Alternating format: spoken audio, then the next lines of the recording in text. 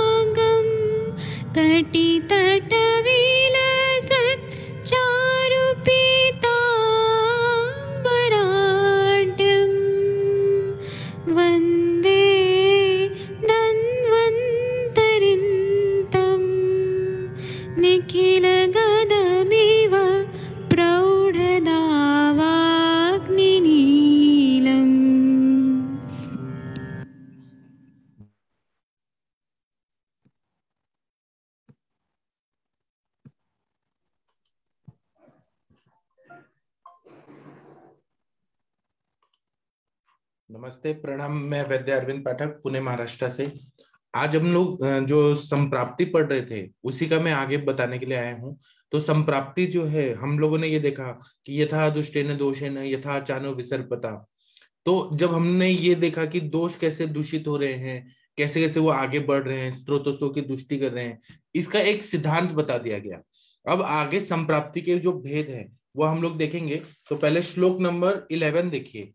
माधव निदान में पहला चैप्टर में श्लोक नंबर इलेवन देखिए। इसमें बहुत अच्छे से बताया कि संख्या विकल्प प्राधान्य बल काल विशेषता साभिद्यते यथा त्रैव वक्ष्यन्ते अष्टो ज्वरा इति, दोषाणां समवेतानां विकल्पो अंशांश कल्पना स्वातंत्र पारतंत्राभ्याम व्याधे प्राधान्य मादिशेत हेतु हेतुवादि कार्सन्या अव्यय बलाबल विशेषणम। नक्त दिनर्तु भुक्तांशेर व्याधि कालो यथामलम। इतना बढ़िया बताया है ना? और ये हमारा बेसिक जो है, आयुर्वेद का बेसिक प्रिंसिपल है। इसके आधार पर ही हमें आगे व्याधियों को पढ़ना है थेरोटिकली और उसी तरह से हमें पेशेंट में भी देखना है।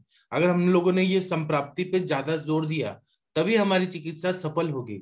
नहीं तो कोई सिम्टम लेके आया कि पेट दर्द हो रहा है और पेट दर्द का एक कोई फॉर्मूला दे दिया तो फिर वो क्यों हो रहा है, किस लिए हो रहा है, कैसे क्या हुआ, वह जानना बहुत ज़रूरी है डिफरेंशियल डायग्नोसिस करना बहुत ज़रूरी है।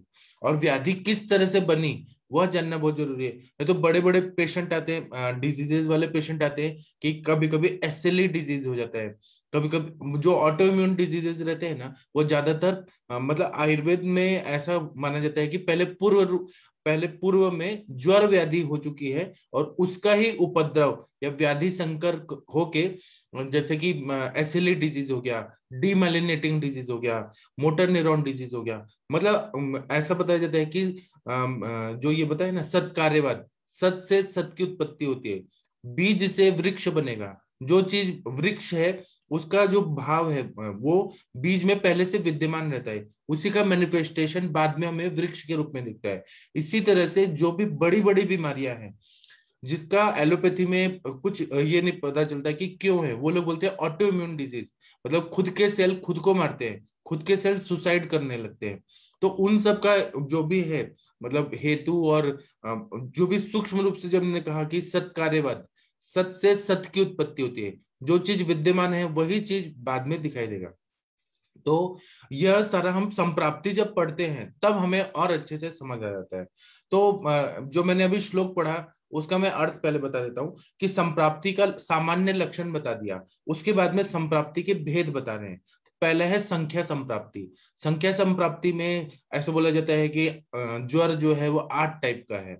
और फिर मतलब हर व्याधि का जो टाइप्स बताया जाता है कि ये इतने टाइप का है, ये इतने टाइप का है, और अतिसार है वो छह टाइप का है अर्श है वो छह टाइप का है, पांडु है, पांडु रोग जो है वह पाँच टाइप का है, कास है वो पाँच टाइप का है, श्वास रोग है वो पाँच टाइप का है, हिक्का है वो पाँच टाइप का है, ऐसा जो बता दिया जाता है तो यह संख्या आती है उसमें हम लोग नंबर बताते हैं कि इतने टाइप का ये व्याधि है। अब आगे हम लोग अगर देखेंगे तो चरक संहिता में विधि संप्राप्ति भी बताया है। विधि संप्राप्ति का मतलब है कि अब ज्वर जो है वो आठ टाइप का है तो वो विस्तार से बताते हैं कि वातज, पित्तज, कफज, फिर वात पित्तज पित्त कफज वात कफज और सन्निपातिक। ये सात टाइप हो गया, निज दोषों से उत्पन्न और आगंतुज, वो चार टाइप का। ऐसा बताते तो जो ये विस्तार से जो टाइप्स को क्ला, क्लासिफाई करके अच्छे से बताना इसको विधि संप्राप्ति बोलते हैं। लेकिन माधवकार जो है उन्होंने इसको इसी में इंक्लूड कर दिया उन्होंने अलग से नहीं बताया। विधि संप्राप्ति केवल चरकाचार्य जी ने बताया। ये थोड़ा सा डिफरेंस है लेकिन यह भी ज़रूरी है जानना। अब जैसे कि हम लोग अगर देखेंगे कि आयुष दर्पण का जो माधव निधन का क्लास हो रहा है तो इसमें बारह लोग हैं। बारह लोग संहिता वाचन कर रहे हैं। तो अब ये नंबर बता दिया पहले। अब कौन लोग कर रहे हैं? तो अनुरिता मैम कर रही हैं, कंचन मैम कर रही हैं, अंजना मैम कर रही हैं, हरुण जी कर रहे हैं, शंकर प्रसाद जी कर रहे हैं, विकास कुमार जी, प्रभात पांडा जी रमनगर जी, रविशंकर जो। ये विस्तार से बताया जा रहा है कि कौन कौन है, वह विधि संप्राप्ति हो जाता है। तो हमें यह जानना बहुत ज़रूरी है। उसके बाद में आता है विकल्प संप्राप्ति। विकल्प संप्राप्ति का बहुत ज़्यादा महत्व है। और विकल्प संप्राप्ति में ऐसा बताया जाता है कि दोषों की संसर्गावस्था हुई है क्या? दो, जब दो दो दोष मिलते हैं वात पित्त पित्त कफ वात कफ जब दो दो दोष मिलके जो व्याधि होती है तो उसको बोलते हैं विकल्प संप्राप्ति। मतलब हम लोग उससे समझते हैं या जब सन्निपात हो जाता है मतलब वात पित्त कफ जब ऐसे जब होता है ना तो विकल्प मतलब उसमें ऑप्शनल रहते हैं कि इस तरह से भी व्याधि हुआ है।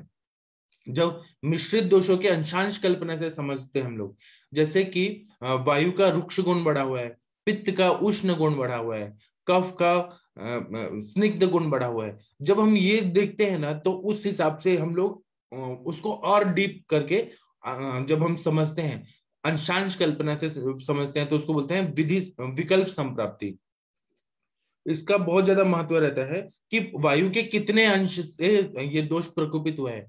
पित्त के कितने अंश से दोष प्रकोपित हुए कफ के कितने अंश से? मतलब हम लोग दोषों के हिसाब, दोषों के अंशांश कल्पना से जब समझते हैं तो उसको बोलते हैं विकल्प संप्राप्ति। और इसका भी बहुत ज़्यादा महत्व रहता है। आगे हम लोग ना इसी पर हम लोग डिस्कस करेंगे। जो अलग अलग व्याधियाँ हम लोग देखेंगे ना, और ये बेसिक प्रिंसिपल समझ गया तो हमारे पेशेंट में हमें समझने में बहुत इजी जाता है। उसके बाद में तीसरा संप्राप्ति बता रहे हैं, प्राधान्य संप्राप्ति। विकल्प में तो हमें मिश्रित दोषों के मिश्र लक्षण देखते हैं। मतलब अंशांश कल्पना से समझते हैं कि वायु के इतने गुण, पित्त के इतने गुण, कफ के इतने गुण। और इसी को हमारे जमदग्नि सर ऐसे सिखाते हैं कि जब भी आप पेशेंट देख रहे हैं और कोई ऐसे मॉडर्न का डिज़ीज़ लेके पेशेंट आया है तो हमें क्या करना है कि बड़े से बड़ा बीमारी में वायु के कितने कितने सिम्टम है, सारा लिख दीजिए। मैं भी अपने पेशेंट लोग को बोलता हूँ कि आप ना घर से लिख के लाइए कि आपके, अगर सौ लक्षण आ रहे हैं आपके तो आप सौ लक्षण लिख लीजिए तो वो मुझे इजी जाता है। फिर मैं उसमें वायु के कौन कौन से सिम्टम है, उसको टिक मार करता हूँ। फिर पित्त के कौन कौन से वो टिक मार करता हूँ। कफ के कौन कौन से वो टिक मार करता हूँ। तो इस तरह से जो डिज़ाइन करके जब किया जाता है ना तो वह हमें संप्राप्ति समझने में और पूरा वो व्याधि किस तरह से हुआ है, वह समझने में बहुत इजी जाता है। इसलिए आप लोग भी अपने पेशेंट से बोलिए या आप लोग खुद भी जब केस टिकिंग करते हैं तो वायु के सारे पहले सिम्टम लिख लीजिए। शुरुआत से जितना वो बताता है ना, वो सारा लिख लीजिए कि जैसे उसको दुर्बलता आ रही है तो ये वायु का लक्षण है। तृष्णा हो रहा है तो ये कौन सा? सारे सिम्टम सारे लिख लीजिए और उसके बाद में टिक करिए, बात पित्त, कफ। और उसके बाद में वायु के कितने सिम्टम है? पित्त के कौन से कफ के कौन से है? तो इसमें कौन सा दोष अंशांश कल्पना से बिगड़ा हुआ है, वह हमें समझ आता है। तो यह होता है विकल्प संप्राप्ति। प्राधान्य संप्राप्ति में कोई रोग प्रधान होता है, जिसको हम बोलते हैं मतलब स्वतंत्र व्याधि और परतंत्र व्याधि। मतलब कोई रोग बड़ा होता है और कोई रोग छोटे होते हैं। जैसे कि किसी को राजयक्षमा हुआ है। राजयक्षमा हुआ है तो उसमें जो शोष हुआ है श्वास काश हुआ है तो मेन उसका सिम्टम क्या है? तो इसका मतलब है कि आ, मतलब सांस लेने में उसको तकलीफ़ हो रही है खांसी आ रही है बहुत ज़्यादा खांसते खांसते खून आ रहा है और उसका वेट लॉस हो रहा है। ये मेन सारे हो गए। और जो अप्रधान होता है उसमें तो ज्वर आ रहा है अंग मर्द हो रहा है बॉडी एक हो रहा है ये अप्रधान हो गए। तो इसलिए प्रधान व्याधि राजयक्षमा हो गया और उसके, उससे एसोसिएटेड जो सिम्टम होते हैं जो दूसरी व्याधियाँ होते हैं, उसको बोलते हैं परतंत्र व्याधि, स्वतंत्र व्याधि, परतंत्र व्याधि। मतलब कोई प्रधान व्याधि होता है, कोई गौण व्याधि होता है। तो इस तरह से हम लोग जो समझते हैं, इसको बोलते हैं प्राधान्य संप्राप्ति। इसके बाद में होता है बल संप्राप्ति। बल संप्राप्ति में क्या होता है कि कोई भी व्याधि है, वो ऋतु के हिसाब से बॉडी में आती है। जैसे शरद ऋतु में पित्त की सारी व्याधियाँ हुई। मतलब उसमें कैसे हुआ कि जैसे कि पित्त का अम्ल पित्त बढ़ गया स्किन प्रॉब्लम होने लगे फिर उसके बाद में शिराशूल बढ़ गया बॉडी में दाह होने लगा। ये पित्त के व्याधियाँ। कफ काल में जब शरद ऋतु वसंत ऋतु आता है तो उसमें क्या हुआ कि होता है कि वह श्वास काश प्रतिशय ये ज़्यादा बढ़ जाता है। तो जो काल के हिसाब से संप्राप्ति होती है, वर्षा ऋतु में ज्वाइंट पेन बढ़ जाता है, फिर आम बात के सारे पेशेंट बोलते हैं कि हमारा पेन बहुत ज़्यादा एग्रेवेट हो गया। तो ये जो रहता है, वो बल मतलब काल के हिसाब से जो बलवान हो जाते हैं दोष और उनके सिम्टम ज़्यादा दिखने लगते हैं, उसको बोलते हैं काल संप्राप्ति। और यह मतलब मनुष्य के उम्र, वय के हिसाब से भी रहता है, जैसे छोटे बच्चों को कफ के व्याधियाँ ज़्यादा होती है। क्योंकि बाल्यावस्था में कफ का काल होता है, युवावस्था में पित्त का काल होता है तो पित्त की व्याधियाँ होती है, और वृद्धावस्था में वायु का काल होता है तो सारे वात की व्याधियाँ होती है। उसी तरह से ऐसा देखा जाता है कि जो सुबह का टाइम है, दिन में अगर देखे और रात को देखे तो शुरुआत में जो छह से दस बजे का टाइम होता है, वो कफ का काल होता है। फिर सॉरी छह से दस बजे तक कफ का काल होता है, दस से दो बजे तक पित्त का काल होता है और दो से छह बजे तक वायु का काल होता है। यही चीज़ नियम रात को भी है कि छह से दस बजे तक वायु का काल छह से दस बजे तक कफ का काल होता है, दस से दो बजे तक पित्त का काल होता है और दो से छह बजे तक मॉर्निंग में वायु का काल होता है। तो इस हिसाब से हम लोग समझते हैं। फिर दूसरा काल के हिसाब से देखेंगे तो आदान काल और विसर्ग काल। उसका भी महत्व रहता है। आदान काल की व्याधियाँ अलग होती हैं, विसर्ग काल की व्याधियाँ अलग होती है। और हम जब इस तरह से डायग्नोस करते हैं तो हमें और ज़्यादा अच्छे से समझ आता है कि हमें संतर्पण जन्य व्याधियाँ कब आ रही है, अब तर्पण जन्य व्याधियाँ कब आ रही है, कब कौन सा चिकित्सा क्या करना है। इसी तरह से खाना जब पचता है तो तुरंत खाना खाया तो मधुर अवस्था पाक होता है। जब मध्य में देखेंगे तो अम्ल अवस्था पाक होता है और खाना जब पचने लगता है तो कटु अवस्था पाक होता है। तो वही अवस्था पाक सही हो रहा है कि नहीं हो रहा है, उसको समझना। अगर उसमें कुछ विकृति आ गई है तो उसकी चिकित्सा करना। ये सारा जो मतलब एनालिसिस करना, समझना और फिर उस हिसाब से चिकित्सा करना तो यह हम बल काल संप्राप्ति के हिसाब से समझ जाते हैं। तो मैंने ये बता दिया, बल संप्राप्ति तो मैंने बता दिया कि बल, बलवान कब है दोष? बलवान कौन सा सीज़न में है, आयु के हिसाब से है वह बल संप्राप्ति होता है। और काल संप्राप्ति जो होता है, वो मैंने बल और काल को एक साथ ही बता दिया, काल संप्राप्ति टाइम के हिसाब से रहता है। कि कौन से मतलब अगर हम लोग देखा जाए ना तो सारे संप्राप्तियाँ एक ही हैं, लेकिन उसको समझने के लिए अलग अलग दृष्टिकोण बताया है। कि काल के हिसाब से अगर हम देखेंगे तो वायु का प्रकोप का टाइम कौन सा है, पित्त के प्रकोप का टाइम कौन सा है टाइम के हिसाब से देखना। दोष बलवान रहेंगे वो तो हमें मालूम ही है। जब हम बल के हिसाब से देखेंगे तो वो उस तरह से समझ आएगा। टाइम के हिसाब से देखेंगे तो काल संप्राप्ति होता है। तो इन सबको हम समझ लेते हैं ना तो आगे हमें चिकित्सा करना इजी जाता है। अभी मैं आप लोगों को आमंत्रित करता हूँ आप लोग आइए और हम लोग संभाषण शुरू करते हैं। फिर मैं बीच बीच में और कुछ कुछ बताते रहता हूँ। डॉक्टर आकांक्षा जी आप अनम्यूट हो पा रही हैं क्या? नाम सर। प्रणाम। आप इस पर कुछ बोलिए। जी सर आ, सर आ, जैसे हम लोग देखते हैं सर कि जब भी पेशेंट आता है तो उसमें कई बार ऐसा हो जाता है कि मतलब जैसे आपने अभी बताया स्वतंत्र प्रतंत्र व्याधि तो कई पेशेंट में ऐसा होता है कि अगर हम मेन चिकित्सा अगर हम मतलब जो मेन व्याधि है उसकी ट्रीटमेंट कर दे तो उसके एसोसिएटेड सिम्टम भी शायद आकांक्षा जी का नेटवर्क का प्रॉब्लम है। सर आवाज़ नहीं आ रही? आपका कट गया था। अच्छा सॉरी सर हाँ बताइए। हाँ सर मैं बोल रही हूँ कि जैसे अभी आपने बताया स्वतंत्र व्याधि परतंत्र व्याधि के बारे में तो आ, सर ऐसे बहुत सारे पेशेंट्स जब हम लोग जैसे इनफर्टिलिटी के पेशेंट्स देखते हैं तो उसमें अगर हम मेन कारण की चिकित्सा कर देते हैं तो हमको सारे एसोसिएटेड सिस्टम सिम्टम पे भी आ, मतलब हमको आ, उस पर आंसर मिल जाता है। तो कई बार ऐसा होता है कि आ, कई बार जैसे मीजल्स वगैरह हुआ होता है तो शरीर में रक्त में उष्णता बहुत हो जाती है तो कहीं ना कहीं हमको हिस्ट्री जब हम लेते हैं और उसकी चिकित्सा अगर हम लोग कर देते हैं इवन अगर अगर कभी कृमि की हिस्ट्री है या विश की हिस्ट्री है तो अगर हम उस पर ट्रीटमेंट कर देते हैं तो हमको इनफर्टिलिटी में पेशेंट को बहुत मतलब अच्छे रिज़ल्ट मिल जाते हैं और जल्दी रिज़ल्ट मिल जाते हैं। और इसमें भी एक जैसे श्लोक आया तो उसमें बस कभी कभी सर ये और एक चीज़ होती है ना कि अगर उपद्रव साथ में होता है तो उसकी चिकित्सा मतलब हमको पहले कर देनी पड़ती क्योंकि कभी कभी एसोसिएटेड सिम्टम में कभी प्रॉब्लम्स मतलब जब पेशेंट ऐसे कॉम्प्लिकेटेड फॉर्म में आता है तो साथ में कभी अगर आ, मतलब मान लीजिए कभी पेन बहुत ज़्यादा बता रहा है किसी चीज़ में या सर्दी बता रहा है किसी सिम्टम में तो पहले अगर हम उसकी चिकित्सा कर दें उसके बाद हम स्वतंत्र व्याधि की चिकित्सा करें तो ये ठीक रहता है ना सर वैसे? बराबर वैसे ही होता है। आपका सही इसी को श्लोक में बता रहे हैं कि तस्य औपाधिक भेद माँ संकेत्यादि सविदेन मतलब ये औपाधिक भेद से संप्राप्ति जो है मतलब इनको उपाधि दी है इनको अलग अलग टाइप से समझाया गया है अपने ग्रंथों में। अत्र च प्राधान्य उपादान प्राधान्यम च तत्प्रतियोग्यतया बोधव्यम इसका मतलब है कि प्राधान्य और उपाधिक भेद से इसके दो टाइप बताए। और इन दोनों में प्रतियोगिता रहती है कॉम्पिटिशन रहता है कि फ़र्स्ट कौन आएगा सेकंड कौन आएगा, कोई भी व्याधि का। अतएव विवरण स्वतंत्र पारतंत्राभ्याम बक्षयती अब इसको हम स्वतंत्र और परतंत्र व्याधि के रूप से समझते हैं।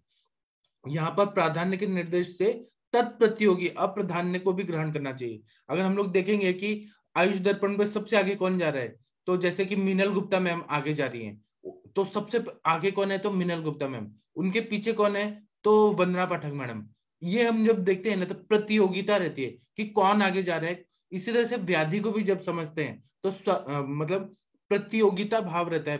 प्रधान कौन सा है? अप्रधान कौन सा है? और अप्रधान को भी छोड़ना नहीं है हमें। दोनों चीज़ों को लेना है।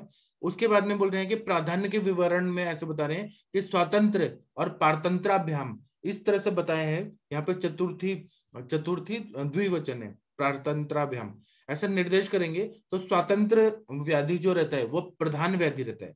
पारतंत्र व्याधि रहता है, वो अप्रधान, उससे छोटा भाई, छोटा व्याधि जो रहता है, उसको समझना चाहिए। और वह कभी भी स्वतंत्र व्याधि से ही जुड़ा रहता है, पारतंत्र व्याधि। इसका अपना अस्तित्व एकदम ये मेन रूप से नहीं आता है।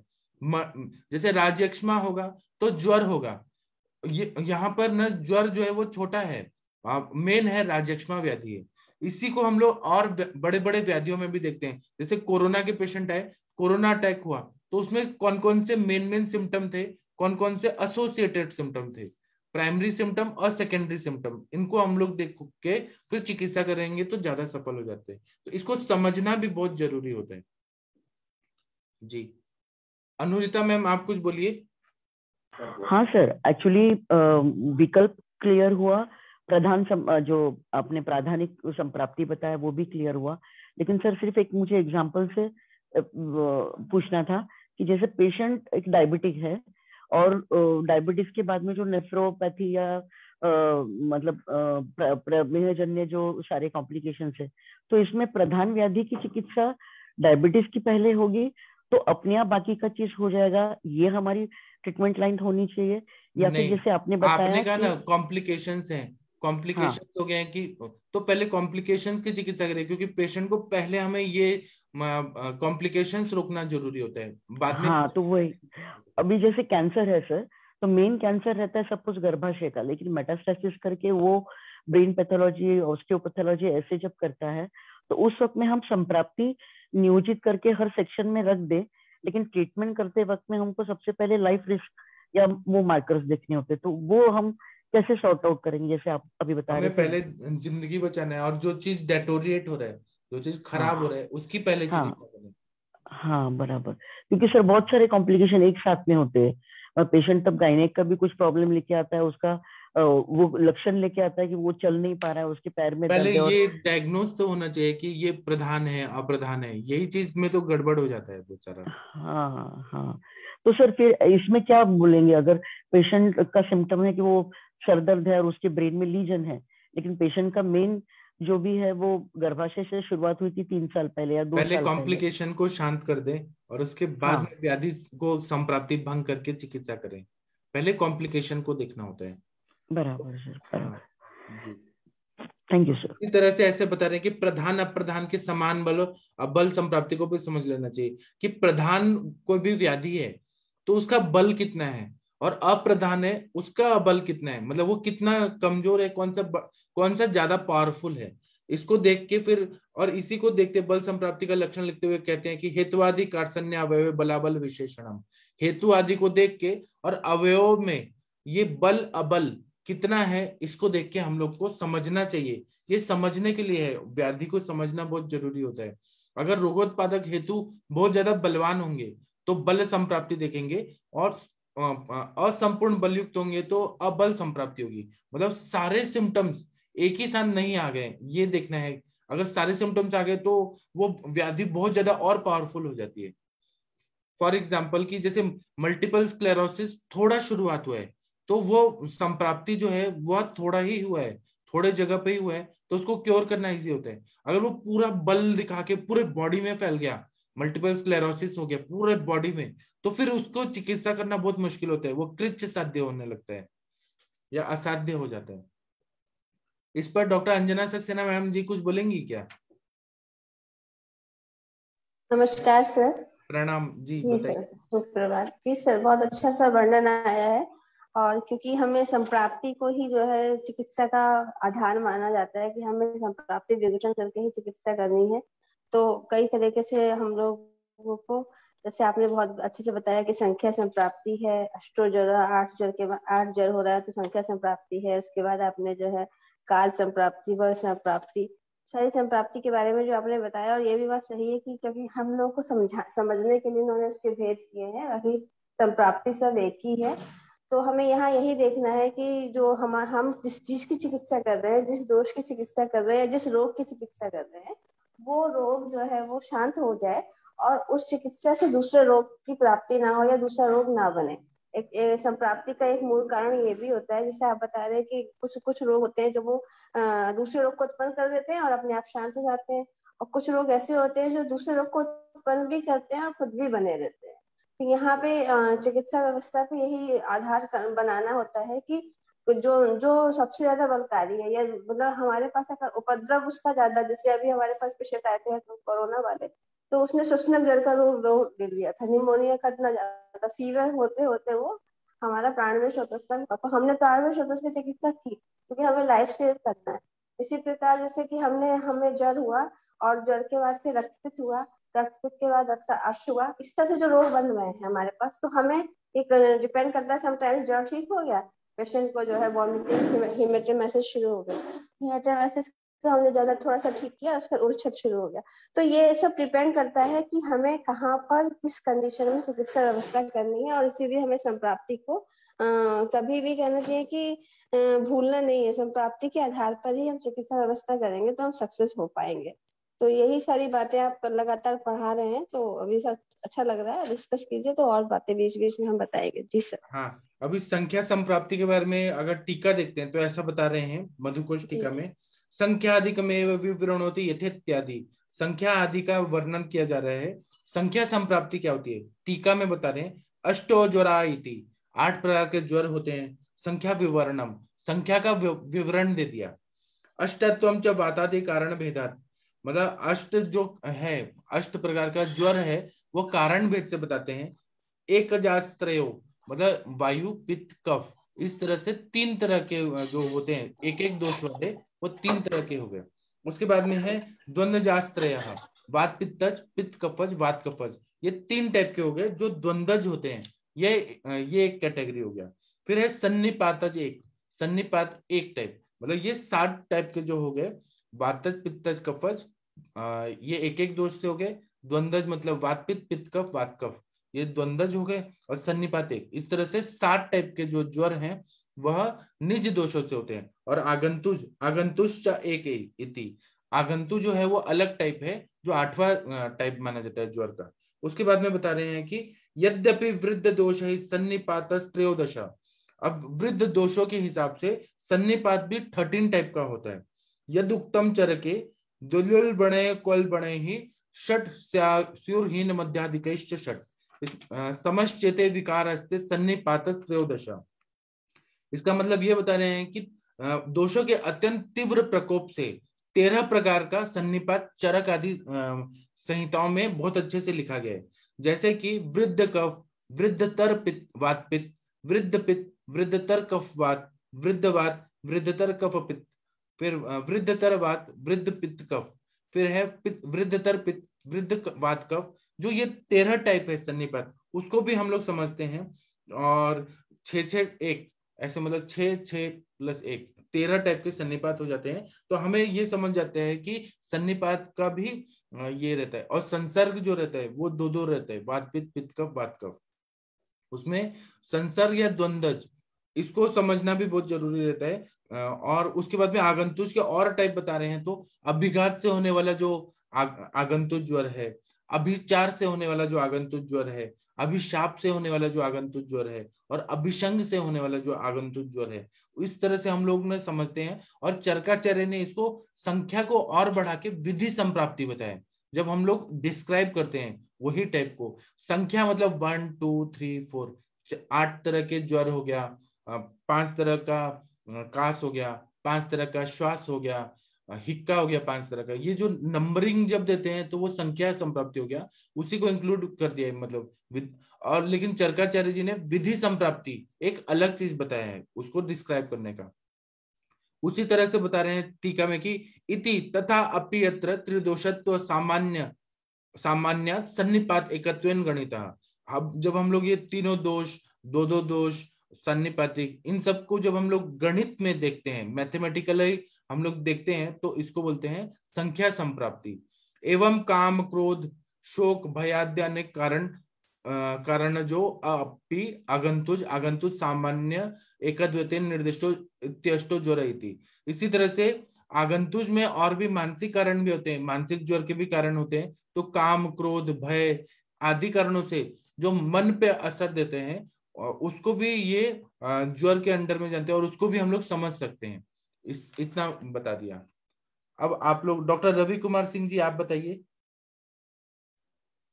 जी सर प्रणाम। प्रणाम सर जी बताइए। सर थोड़ा सर वही क्लियर करना था कंसेप्ट प्रधान ने और प्रधान ने और क्या करते सर जो है ये ये भी कंसेप्ट क्लियर मतलब ये भी देखेंगे सर और जो है परतंत्र और स्वतंत्र व्याधि। तो परतंत्र व्याधि भी किसी समय जो है प्राधान्य हो सकती है सर। जी। ऐसा हो भी हो सकता है ना सर? तो हमें प्राधान्य व्याधि पर ज़्यादा ज़ोर देना है। और स्वतंत्र को भी हमें कंसीडर करना है सर इसमें। परतंत्र व्याधि की वजह से प्राधान्य पर ज़्यादा सिम्टम है तो हमें पहले प्राधान्य को ज़्यादा जो है इम्फेसिस देना है और लेकिन साथ में स्वतंत्र को भी ध्यान देना है सर। सर यही नहीं कंसेप्ट बराबर आपने सही बोला। अब दूसरा आ रहे हैं विकल्प विवरण होती। टीका में वैसे बता रहे हैं कि दोषाणाम इत्यादि। विकल्प को भी समझना ज़रूरी होता है। इसके लिए बहुत अच्छा सुश्रुत संहिता का इन्होंने उदाहरण दिया है कि सुश्रुताचार्य जी ने ऐसा बोला है। विकल्प मतलब विकल्प मतलब अंशांश कल्पना से कौन कौन से दोषों के कौन से अंश बढ़े हुए हैं। उसको समझना ज़रूरी है। तो ऐसे श्लोक में बता रहे हैं कि दोषाणाम समवेता नाम परस्पर संबंधा नाम दोष जो रहते हैं, परस्पर एक दूसरे से जुड़े हुए रहते हैं, तेन द्वंद सन्निपात और ग्रहणम। उनको जब दो दो दोष मिले रहेंगे तो उसको द्वंद बोलेंगे और तीन दोष जब मिलेंगे तो सन्निपात बोलेंगे। और दोषाणम समवेतानम इसमें बहुत बड़ा ऐसा मतलब इसको बहुत हिसाब से समझेंगे। तो दोषों का परस्पर संबंध या संकुलित संबंध या मिले हुए दोषों की अंशांश कल्पना को विकल्प कहते हैं। और संवेद शब्द से द्वंद या सन्निपात, ये शब्द का अर्थ समझ आता है। उसके बाद में बोल रहे हैं, अंशांश कल्पनेति अंशाह, वातादिगत रोक्षादेह। अंशांश कल्पना से जब हम लोग देखते हैं तो वायु में जो रुक्ष गुण है, वायु में फिर शीत गुण है, वायु में लघु गुण है, वायु में चल गुण है, वायु में खर गुण है, वायु में विशद गुण है ये अंशांश कल्पना होती है। तो या फिर पित्त में देखेंगे तो पित्त में तीक्ष्ण गुण होता है, पित्त में उष्ण गुण, पित्त में विस्त्र गुण, पित्त में स्निग्ध गुण रहता है। कफ में देखेंगे तो पित्त में कफ में स्निग्ध गुण रहता है, कफ में पिछिल गुण रहता है, कफ में गुरु गुण रहता है। तो कौन कौन से अंश से दोष प्रकुपित होकर व्याधि को उत्पन्न कर रहे हैं, इसको समझना बहुत ज़रूरी है और यह बेसिक है हमारा। अगर ये समझेंगे तो हम लोग को बड़े से बड़ा व्याधि को हम लोग ठीक कर सकते हैं। जैसे कि कोरोना के पेशेंट में, पेशेंट को रुक्षता बढ़ रही थी, ड्राई कफ आ रहा था। मतलब रुक्ष गुण से वायु बढ़ा हुआ है। कफ का कफ का जो पिछिल गुण है, वह बहुत ज़्यादा बढ़ गया। फिर वो कफ लीन हो गया स्त्यान हो गया पिछिलता ज़्यादा बढ़ गई स्त्रोतोरोध कर दिया। तो हम लोग अंशांश कल्पना से, हम लोग ये सब करते ही हैं, लेकिन यहाँ पे थेरोटिकल सब बता रहे हैं। उसी तरह से तैर द्वे, तैरेक, द्वित्री दी समस्तर व पुनः वातादि प्रकोपा अवधारण विकल्पना। यही सारे जो है इसको विकल्पना बोलते हैं। अंशांश कल्पना को विकल्पना बोलते हैं। यदुक्तम सुश्रुते सर्वभावे स्त्री भावापि द्वाभ्याम संसर्गे कुपिता क्रोधम दोषम दोषो धावती थी मतलब यही बता रहे हैं कि दो दो दोष से ये होता है। संसर्गावश में सारे भाव से तीन दोष दो भाव से या एक भाव से जो संपूर्ण दोष प्रकुपित होते हैं तो वह आक्रमण करते हैं कि या तो अकेले अटैक करेंगे, या दो दो दोषों के साथ करेंगे, या तीन तीन दोषों के साथ अटैक करेंगे। तो इस प्रकार दोष प्रकोप और निदान वैचित्र मतलब निदान जो रहता है वो अलग अलग टाइप से रहता है अलग अलग कारणों के सेवन से व्याधि होती है तो उसको समझना बहुत ज़रूरी है। उदाहरण के लिए यहाँ पर बता रहे हैं कि वायु का जो रुक्ष गुण है, वायु का शैत गुण है, लाघव गुण है, उससे जो व्याधि होती है कषाय रस में भी यही सब गुण रहते हैं और या फिर जैसे किसी ने मटर खाया, जो पीस बहुत ज़्यादा खाया, मटर बहुत खाया या छोले बहुत ज़्यादा खाए चना का जो रहता है छोले, वो बहुत ज़्यादा खाया तो पूरे शरीर में वायु की वृद्धि हो जाती है और मटर से रुक्षता बहुत ज़्यादा बढ़ जाती है, या जो सूखे धान्य रहते हैं स्प्राउटेड चीज़ें खाते हैं लोग तो वायु का कलाय कलाय सर्वे भावे वायु मतलब धीरे धीरे धीरे धीरे करके वायु का प्रकोप हो जाता है। इसी तरह से चौलाई का साग जो रहता है, उसमें वो साग में रुक्षता रहती है, शैत्यता रहती है, लघुता रहती है तो इसके वजह से वायु का प्रकोप हो जाता है। जो गन्ना होता है जिसको हम कांडेक्षु बोलते हैं तो उसमें रोक्ष गुण रहता है और शीत गुण रहता है। उसके सेवन करने से शीत गुण भी बढ़ता है, रुक्षता भी बढ़ती है और वायु का प्रकोप हो जाता है। सिद्धू जो रहता है, वह रुक्ष रहता है। सिद्धू के अति सेवन से रुक्षता बढ़ जाने से वायु रुक्ष गुण से अधिक प्रकोपित हो जाती है। इसी तरह से दूसरा एग्ज़ाम्पल बताया कि कटुक रस और मध्य ये दोनों पित्त के प्रकोपित करने वाले होते हैं। कटु रस बहुत ज़्यादा किसी ने लाल मिर्ची पाउडर बहुत खाया या फिर किसी ने मध्य पिया तो उससे पित्त प्रकोपित हो जाएगा। हींग जो है, हींग वह कटु तीक्ष्ण और उष्ण रहता है, और बहुत ज़्यादा हींग अगर किसी ने खाया तो उससे पित्त उष्णता, तीक्ष्णता से बढ़ जाएगा। फिर किसी ने अजवाइन खाया तो उसमें क्या होता है, अजवाइन भी उष्ण और तीक्ष्ण होता है, और बहुत ज़्यादा अजवाइन अगर खाया तो तीक्ष्ण गुण से और उष्ण गुण से पित्त जो है, वो उद्रिकित हो जाता है, बहुत ज़्यादा बढ़ जाता है, ज़्यादा अति मात्रा में खाए तो।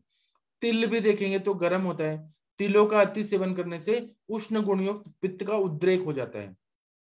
अब कफ में आते हैं तो कफ में बता रहे हैं कि मधुर रस और भैंस का दूध जो है, वह दोनों शीत गुणात्मक होता है, गुरुता उत्पन्न करता है पैच्छिल्यता बहुत ज़्यादा रहती है। भैंस का दूध भी बहुत ज़्यादा अभिसंधि होता है पिछिल गुण बहुत रहता है और मधुर रस में भी रहता है। तो कफ का वृद्धि करने वाले ये चीज़ें होते हैं। चिरौंजी होता है, वो जिसको राजाधन फल कहते हैं, वो स्नेह, गुरु और माधुर्य होने की वजह से अति सेवन करने से कफ का प्रकोप कर देता है। कशेरुका आप लोग को पता है कशेरुका का हम लोग ये खाते हैं, सिंघाड़ा जो बोलते हैं उसका आटा खाया जाता है मतलब उपवास में। तो कशेरुका जो रहता है, वो शीत रहता है, गुरु रहता है, उसका अतिक सेवन, अति सेवन कर लिया गया तो शरीर में शैत्य गुण, गुरु गुण, ये सबसे कफ का उद्रेक हो जाता है। इसी तरह से श्री वृक्ष देखेंगे। तो बरगद हो गया, पीपल हो गया प्लक आदि के जो फल होते हैं, या कमल नाल होता है, उसमें शीत गुण बहुत ज़्यादा रहता है। तो उसके वजह से क्या होता है कि शीत गुण से कफ प्रकोपित हो जाता है। कॉमनली हम घर में भी बोलते हैं कि ये गर्म है, ये ठंडा है, इसको ज़्यादा मत खाओ, इसको कम खाओ। जब हम लोग बोलते हैं ना तो ये हम लोग वीर की ही बात करते हैं कि शीत गुण है, फिर गुरु गुण है, लघु गुण है। इन सबसे जब हम लोग देखते हैं अंशांश कल्पना से तो उसको बोलते हैं विकल्प संप्राप्ति। क्योंकि जो हम खाते हैं, कोई भी चीज़ खाते हैं ना, आहार्य पदार्थ खाते हैं या मेडिसिन खाते हैं, औषधि खाते हैं तो आहार्य पदार्थ जो रहते हैं वह उसको भी हम लोग रसवीर विपाक से देखते हैं। और हम लोग इसको भी, औषधि को भी रसवीर विपाक से देखते हैं। और उससे बॉडी में कुछ इफ़ेक्ट होता है। अच्छा होगा या बुरा होगा, उसको समझना ज़रूरी होता है। अब इस पर डॉक्टर मोनिका जी कुछ बोलेंगी क्या? किसी को कुछ और बोलना है तो बोलिए, हम लोग डिस्कस कर रहे हैं। डॉक्टर कंचन जी, आप कुछ पेशेंट के हिसाब से बताइए। ये संप्राप्ति का कुछ बताइए आप। जी सर कल एक पेशेंट आए थे सर, वो साइकोलॉजिस्ट थी और। वो कंप्लेंट लेके आई थी कि राइट साइड की शोल्डर में स्टिफनेस है। तो फिर मैंने हेतु पूछा मतलब सब क्या किस वजह से तकलीफ़ हो रही है तो क्वेश्चनिंग किया तो फिर उसने बोला कि सर जिम में आ, वो कुछ पुलिंग एक्सरसाइज होती है ना तो वो पुल कर रही थी तब उसको वो पेन स्टार्ट हो गया। फिर लॉकडाउन लग गया तो उसके बाद वो लैपटॉप का यूज़ हो रहा था उसका ज़्यादा आठ आठ घंटे तो वो लैपटॉप का पोजिशन भी ठीक नहीं था वो पैरों पे लेके देख रही थी। तो उसे अभी ये तकलीफ़ करीब करीब एक साल से धीरे धीरे करके अभी बहुत बढ़ गई तो अभी उसको बहुत स्टिफनेस था। तो मैंने तो उसको दर्द था तो मैंने ट्रीटमेंट लिखना स्टार्ट किया। पर एक एक क्वेश्चन पूछते जा रही थी तो सर नाइन्टी एट में 1998 में उसे लेफ़्ट साइड के एल्बो में आ, कुछ टीबी के लक्षण दिखे थे तो उसका सर्जरी वगैरह कुछ हुआ था? डिटेल्स तो कुछ नहीं थे उसके पास पर वो बोल रही थी कि आ, ये यहाँ पे सर्जरी किया है यहाँ पे मूवमेंट्स भी रिस्ट्रिक्टेड है। फिर थोड़ी देर के बाद बोलती है कि 2015 में एक सीबेसियस ग्लैंड हुई थी स्पाइन साइड में अपर साइड में तो वो भी ऑपरेट करके निकाली गई थी। फिर और थोड़ा सा डिटेल में गई मैं तो उस, वो बोली मैं अनमेरिड हूँ मेरी मदर है एटी ईयर्स की तो उसकी केयर लेनी पड़ती है। खुद साइकोलॉजिस्ट थी सर वो और फिर फिर और कुछ क्वेश्चन किए तो फिर ऐसे समझा कि सर उसकी बॉडी में बहुत सारे किलोइड्स थे। जहाँ पे भी चोट लग रही थी, वहाँ पे किलोइड बन रहे थे। तो उसकी पूरी किलोइडल टेंडेंसी क्योंकि जो सर्जरी किया हुआ एल्बो था, वहाँ पे भी किलोइड दिखा मुझे। फिर वहाँ पे जो स्पाइन पे सर्जरी किया था, वहाँ पे भी किलोइड बन गया था। और जहाँ पे चोट लगी थी, वहाँ पे चेस्ट के साइड में भी किलोइड था।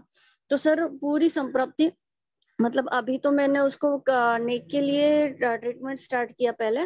तो उसको जैसे कि टीबी से ये स्टार्ट वायु मतलब धातु क्षयजन्य संप्राप्ति यहाँ से स्टार्ट हुई थी सर उसको 1998 में। तो ये शायद वात प्र, प्रकोपित होके वो जैसे कि उस पर कोई ट्रीटमेंट हुई ही नहीं है तो वो वायु ही उसको पूरे बॉडी में तकलीफ़ दे रहा है। कुछ ना कुछ कुछ ना कुछ चल रहा है उसके साथ।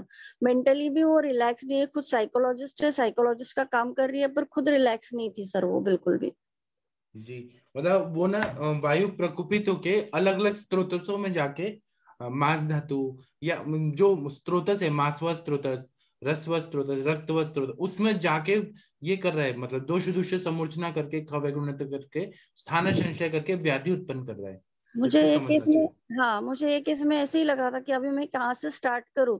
पर मैंने सर उसको पेन था इसलिए नेक नेक और शोल्डर का पेन जो था आ, तो उसमें ही पहले ट्रीट करना स्टार्ट किया। मैंने बोला फिफ्टीन डेज़ के बाद दिखते हैं। सर ये पेशेंट में ऐसे लग रहा था कि मैं मेरे पास कुछ बस्ती का कुछ चाहिए था कि ताकि मैं उसको जल्दी रिलीफ कर सकूँ पर मैंने शमन चिकित्सा ही की फिर सर जी। बहुत अच्छा किया लेकिन आपको समझ तो आ गया ना वो व्याधि कैसे हुआ? आपने हाँ, मतलब पहले क्या हुआ? बाद में क्या हुआ? सर शायद ये मैं पहले नहीं समझ पाती थी पर अभी आप आप जो इतना अच्छे से पढ़ा रहे हो ना तो शायद ये पूरे डीप जाने की मतलब खुद की इच्छा होती है कि नहीं मुझे सब क्वेश्चन करने हैं उसको सब समझना है। सर एक ज्वर का भी पेशेंट था मैं आपको संभाषा में पूछती हूँ शाम को। आ, हम्म। वो भी काफ़ी अच्छा क्योंकि आप ज्वर पढ़ा रहे हो ना तो मतलब वो पूरा उसके सिम्टम एकदम सिंपल था सर पेशेंट जैसे कि आ, तीन दिन पहले ज्वर हुआ था उसका ज्वर कम हो गया था वो सिक्स डे पे मेरे पास आ रही है और फिर बोलती है कि मुझे पूरे रैशेस है बॉडी में आ, तो एंटीबायोटिक वगैरह खाई बोले अभी ये रैशेस आई है। तो बोलती है कि आ, अभी क्या करना है? तो एंटीबायोटिक तो खत्म हो गया। तो हम्म। वो ज्वर समझना था सर मुझे कि कौन से हाँ तो टाइप अभी अभी क्या है कि एक तो पित्त की भी दृष्टि है और रक्त रक्त धातु की भी दृष्टि है। अभी सीज़न भी वही है शरद ऋतु। तो ज्वर और ये मतलब पित्त के सारे सिम्टम ये ये संप्राप्ति वहाँ चली गई स्किन में चली गई और इसलिए रैशेस आ रहे हैं। सर वो पित्त पित्त ज्वर बोल सकते हैं क्या फिर उसे?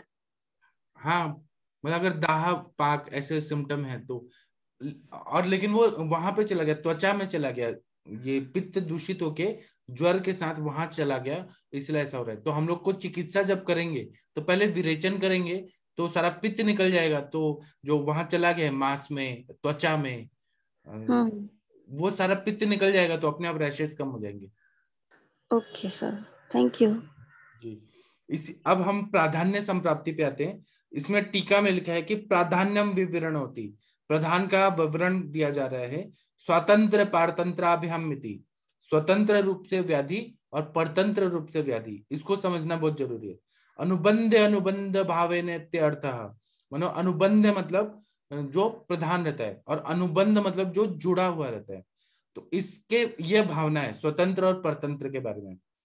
फिर बता रहे हैं कि अत्र अपि दोषाणाम समवेतानाम मित्य अनुवर्तनीयम दोषों का जो संवेद होता है मतलब दोषों का परस्पर संबंध होता है, उस हिसाब से स्वतंत्र व्याधि, और जो ज़्यादा दिखता है, बड़ी व्याधि दिखती है, उसको हम बोलते हैं स्वतंत्र, और जो उससे जुड़ा हुआ छोटी व्याधि रहती है, उसको बोलते हैं परतंत्र। अप्रधान्यम च इति शेष। अप्रधान्य जो रहता है, उसको बाकी हम समझते हैं गम्य मानत्वादि उसके बाद में बोल रहे हैं कि तेन स्वतंत्र प्रधानम। जो स्वतंत्र व्याधि रहता है, वही प्रधान व्याधि रहता है।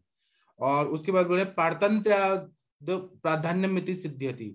पारतंत्र व्याधि भी रहता है, वह अप्रधान रहता है। जैसे कि पहले के जमाने में कोई पति होता था तो पति के और उनकी वाइफ जो थी, वो जॉब नहीं करती थी।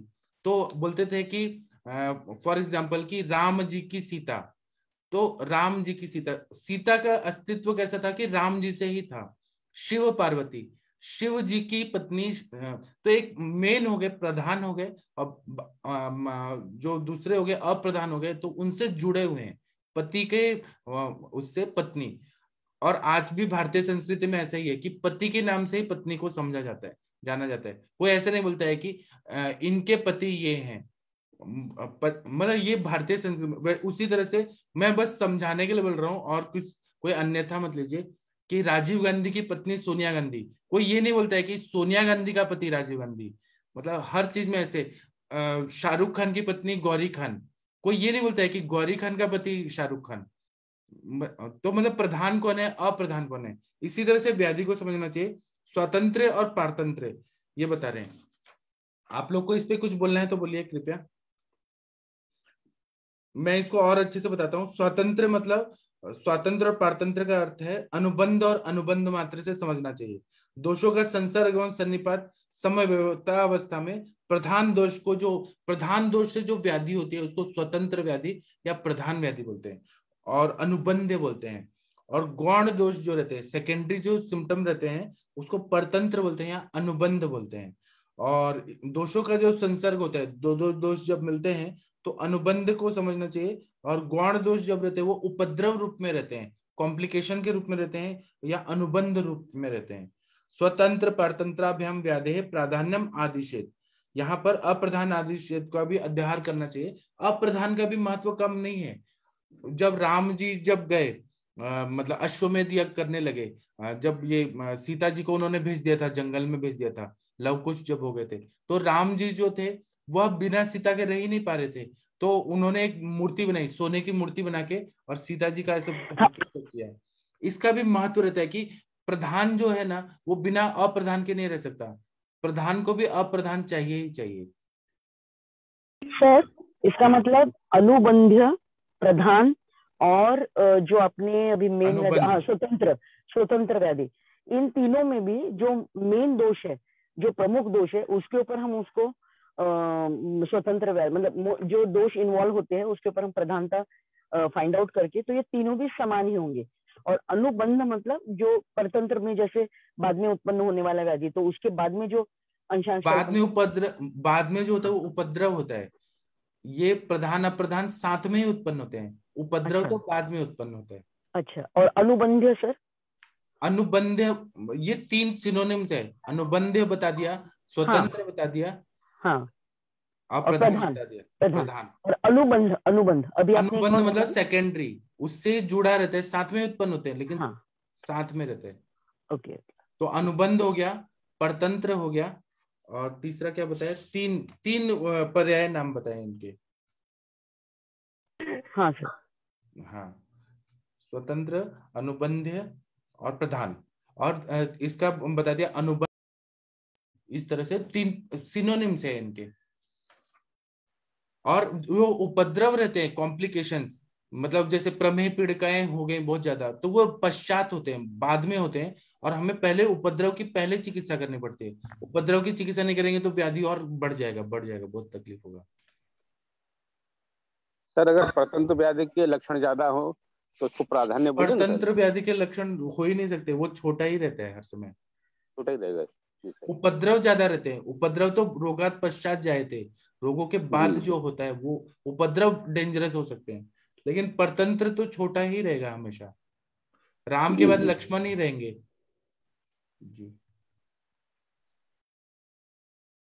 मतलब लक्ष्मण कभी बड़े नहीं हो सकते। राम जी राम जी रहेंगे लक्ष्मण लक्ष्मण रहेंगे। वैसे स्वतंत्र व्याधि परतंत्र व्याधि ऐसे रहते हैं। और अलग अलग अवस्थाओं में अलग अलग हो सकता है। कभी ज्वर व्याधि रहेगा मेन। ज्वर व्याधि पहले रहेगा और बाद में दूसरे को अप्रधान दूसरे व्याधियाँ रहेंगी।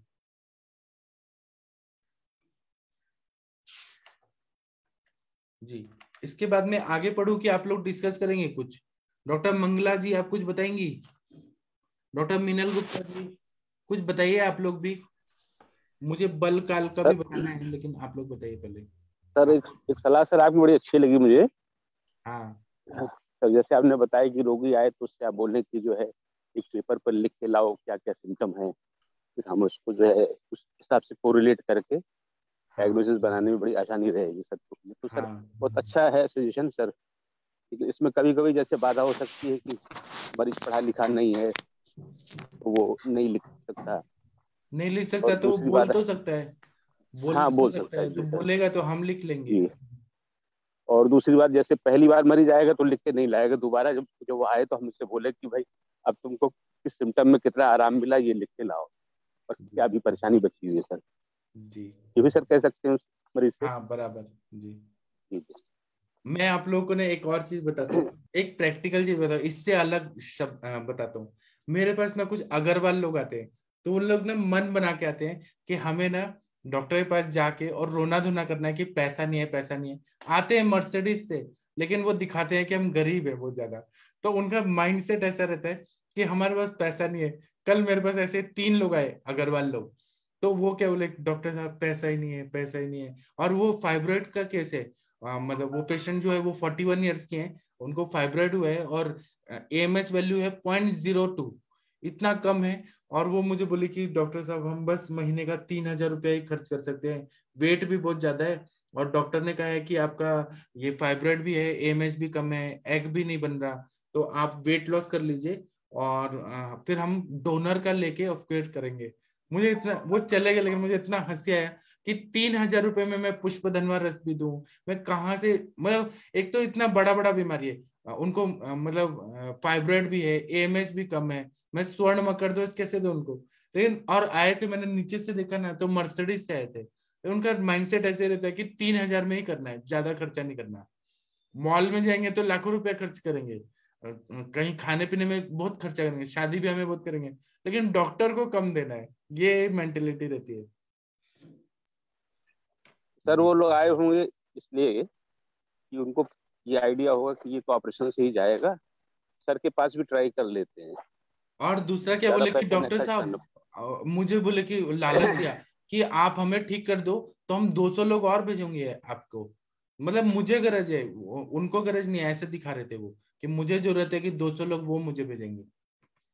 और अब वो जो नेक्स्ट पेशेंट भेजेंगे वो भी तो ऐसे ही भेजेंगे तीन हज़ार में ही सब बीमारी ठीक कर दो महीने का।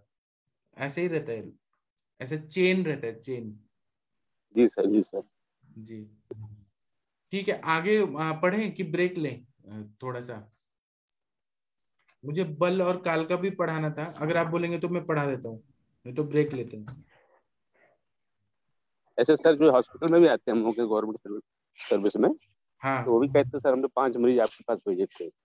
हाँ। हमें कहना पड़ता है सर जो है हाँ। जो है जो आए हमारे यहाँ तो जो आए उसका भी भला जो ना आए उसका भी भला हाँ तो फिर वो शांत हो जाते हैं। हाँ। अब ये। आप बताइए बड़ा बड़ा व्याधि में मैं तीन हज़ार रुपए में कैसे करूँगा? अब दवाइयाँ इतनी कॉस्टली हैं। तीन हज़ार रुपए में तो आएगा ही नहीं दवाइयाँ। Hello Pathak sir good morning हाँ गुड मॉर्निंग सर बताइए सर मेरा एक छोटा सा क्वेश्चन था। हाँ। सर मैंने अभी दो दिन पहले अपनी ओपीडी में एक पेशेंट देखा था पाइल्स का। हाँ। उसको पाइल्स के साथ में गुदा में जलन भी हो रही थी। जी। तो ये पहले भी सिम्टम्स लेके आता था मेरे पास। तो मैं उसको अपना जो पाइल्स का ट्रीटमेंट है वो और साथ में पित्त शामक दवाइयाँ देके ठीक कर लेता था। इस बार वो उसको आराम नहीं हो, हो रहा था। तो मैंने उसे कल फिर बुलाया था तो कल कुछ हमने मैंने उसको विरेचक औषधि भी दी साथ में। जी। और बाकी जो पाइल्स का ट्रीटमेंट है त्रिफला गोकुल आरोग्यवर्धनी गंधक रसायन और अर्श कुठार इस टाइप की दवाइयाँ दी। और साथ साथ में कल मैंने उसको प्रवाल पंचामृत और मोती पिस्टी और ऐड कर दी थी। और वो पहले थे प्रवाल पिस्टी गिलो सत्व अभिपत्ति का चूर्ण काम दुदा का और सूर्य ले रहा था। जी। तो और सर इसमें क्या कर सकते हैं अपन? ये दवाइयाँ तो ठीक है ना आपने पित्त शामक भी दवाएँ दी हैं और अर्श से भी व्याधि प्रतिनिक भी दिया है और दोष के हिसाब से भी दिया है तो सही तो है। तो विरेचक भी और उसमें आप एक और ऐड कर सकते हैं कि तक्र बोलिए आप। पेशेंट को। हाँ ठीक है ना तक्र बोलूँगा। हाँ अच्छा, तक्र और घी का सेवन ज़्यादा करें। घी खाने से क्या होगा? पेट साफ़ होते जाएगा अग्नि बढ़ेगा उनका। जी जी।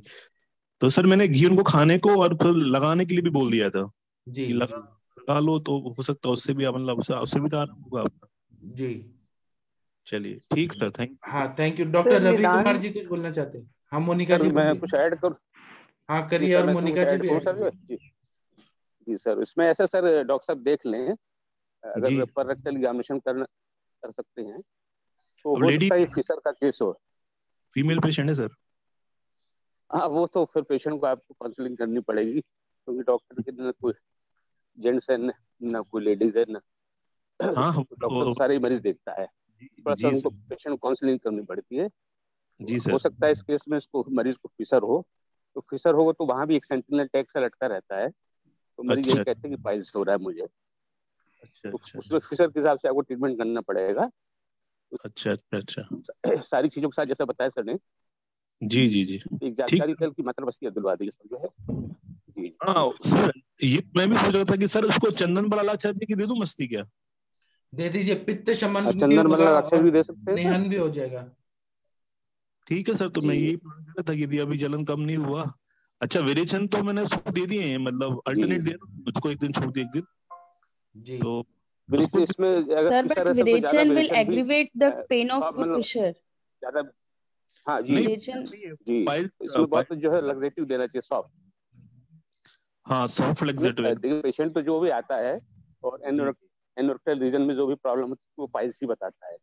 चाहे वो। फिशर हो चाहे वो पाइल्स हो और चाहे कोई और डिज़ीज़ हो वो पाइल्स ही नाम लेता है। तो हमें जी। शब्द से कंफ्यूज नहीं होना है। हमें अपने अपने हिसाब से देख के तब उसका ट्रीटमेंट करना है। चलिए ठीक है मैं परीक्षण करूँगा सर ठीक सर और अगर आपको देना है विरेचन तो एरंड तिल से दीजिए स्नेह विरेचन। चलिए ठीक है सर तो हाँ। एरंड ठीक ठीक और सर आप केवल आप बताए ऐसा नहीं है हमें रिज़ल्ट भी बताइएगा। क्या है हाँ। लोग ना डिस्कस करते बाद में फॉलो अप नहीं बताते हैं? हाँ नहीं नहीं सर मैं बताऊँगा आपके लिए। जी। हाँ सर मैं एक फॉलो बता बता दूँ आपके लिए। याद सर आपका हमारा डिस्कशन हुआ था पार्किंसन डिसीज के ऊपर? हाँ हाँ हाँ। बहुत अच्छा रिस्पांस कर रहा है पेशेंट उनका फ़ोन आया था धनवंतरी जयंती पे मेरे पास कि आपकी दवाइयाँ बहुत अच्छा काम कर रही हैं और आपने जो भी पंचकर्म किए थे उनसे बहुत उनको आराम है। और जब पेशेंट का मैंने लास्ट सिटिंग किया था तो पेशेंट खुद बोल के गया था कि सर हम मेरी आपकी पंचकर्म से हमें 40 परसेंट आराम हुआ और मेरा हाथ हिलना बिल्कुल बंद हो गया अभी दो दिन से। और फिर शमन चिकित्सा में भी उनको काफ़ी फ़ायदा है। आपने क्या दिया था? दवाई क्या दिया था पार्किंसन में? शमन और शोधन पंचकर्म सर सर अपन ने शोधन चिकित्सा में उनको चूँकि क्या कि जब वो आए थे तो पित्त पित्त यहाँ गर्मी बहुत पड़ रही थी। तो मैं पूरा पूरा उनका वस्ती नहीं कर पाया।